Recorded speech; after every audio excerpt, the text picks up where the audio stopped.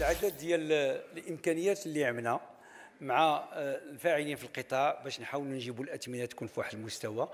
au même temps في نفس الوقت نحافظوا يعني على القطيع ديالنا ونحاولوا سميتو bien sûr العيد كاين. إن شاء الله ويكون يكون بخير. آه غادي الاغنام غادي نخليو بأنه يعني الاستيراد ديالهم يكون في يعني في الأسابيع والشهور المقبلة باش يبقى الثمن على الأقل ديال الذبيحة اللي كاينة في لي زاباتوا وداك تكون مستقرة إن شاء الله.